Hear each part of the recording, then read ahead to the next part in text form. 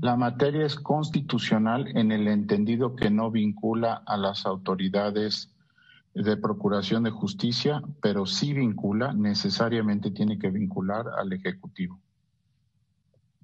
Luis González Alcántara Carmenca. Es constitucional porque versa sobre el esclarecimiento de la verdad. Señor Esquivel Moza. Es constitucional por las razones que referí.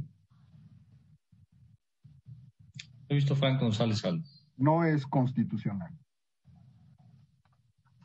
Señor visto Aguilar Morales.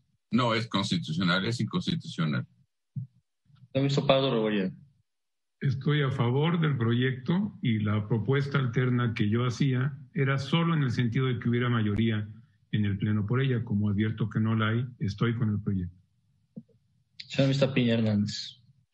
Estoy con el proyecto, haré un voto concurrente, me voy a apartar de algunas consideraciones y la pregunta es, la materia de la pregunta es inconstitucional. Señor Ministro Ríos Farjat.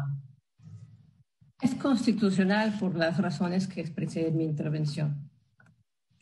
Señor Ministro Láñez Potisek. Con el proyecto es inconstitucional.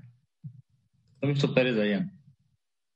La materia a consulta es constitucional y pertenece al género de las responsabilidades de los servidores públicos. Señor Ministro Presidente Saldívar Lelo de la Red. Es constitucional.